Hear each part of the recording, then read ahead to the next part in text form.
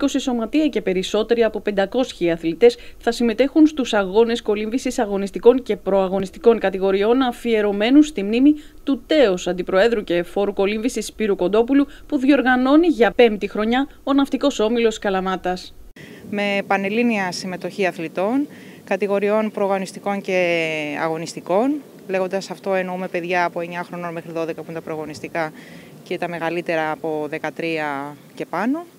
Είμαστε γύρω στα 530 συμμετοχές αθλητών. Είναι γύρω στα 20 σωματεία. Το κύπελο Κοντόπουλος έχει κερδίσει εδώ και χρόνια μια θέση στο αγωνιστικό καλεντάρι συλλόγων από κάθε γωνιά της χώρας, καθώς αποτελεί μια διοργάνωση εφάμιλη εκείνων που διοργανώνονται και φιλοξενούνται στα μεγάλα κολυμβητικά κέντρα της χώρας. Ο Ναυτικός Όμιλο Καλαμάτας κάνει μια μεγάλη προσπάθεια, οργανωμένη προσπάθεια.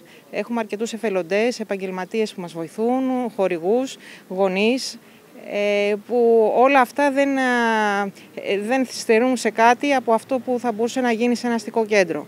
Ε, σίγουρα το κολυμβητήριο θέλει βελτίωση, αλλά τα τελευταία δύο-τρία χρόνια έχουμε πάρα πολλά ε, καλά έργα προς όφελος πρώτα των παιδιών και μετά προς το χώρο δηλαδή. Ε, έχουν γίνει πάρα πολλά πράγματα, αυτό με το χλωροδιωτής, καινούργια σκεπάσματα για το ισοθερμικές κουβέρτες, καινούριους βατήρες. Ε, γενικά δείχνει η Δημοτική Αρχή ότι έχει διάθεση να αναβαθμίσει το χώρο, άσχετα αν είναι ένας παλιός χώρος με προβλήματα, έτσι ώστε να δίνει τη δυνατότητα στα σωματεία να διοργανώνουν ε, διοργανώσεις τέτοιες που να μην έχουν να ζηλέψουν τίποτα από άλλους συλλόγους εκτός ε, από κεντρικά μέρη, ας πούμε. είναι. Τα ρεκόρ και οι ατομικές επιδόσεις που επιδιώκονται στους αγώνες αυτούς ανεβάζουν τον πύχη της ανταγωνιστικότητας. Οι ομάδες σε αυτή τη φάση που είναι περισσότερο για το αγωνιστικό το τμήμα είναι σε φάση φορμαρίσματος με προοπτική να πετύχουν πράγματα στο Πανελλήνιο Πρωτάθλημα τα παιδιά.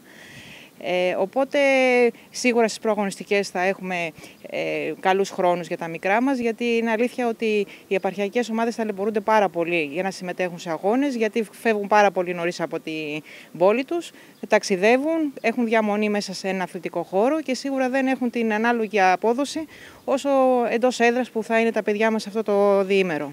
Οι αγώνες θα προβληθούν ζωντανά από την τηλεόραση Best, το πρώτο περιφερειακό κανάλι που προσφέρει υπηρεσίες υβριδικής τηλεόρασης μέσω του καναλιού Best Hybrid 1. Μια διοργάνωση καθαρά για τους αθλητές και σίγουρα υπήρξαν αντιδράσεις, γι' αυτό και έχουμε και τη συνεργασία μέσω Best να έχουμε live, live streaming. Ήδη στα σκαριά βρίσκεται και το επόμενο αγωνιστικό ραντεβού περί τα τέλη του Μαΐου. 21-22 θα ξαναγίνουν αγώνες στο κολυμβητήριό μας, ε, πάλι με τις ίδιες κατηγορίες προαγωνιστικά-αγωνιστικά, οπότε εκεί θα είναι ανοιχτό, το, το κοινό θα μπορεί να μπει.